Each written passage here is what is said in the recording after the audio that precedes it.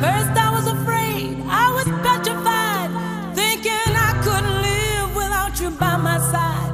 And after spending nights thinking how you did me wrong, I grew strong and I learned how to.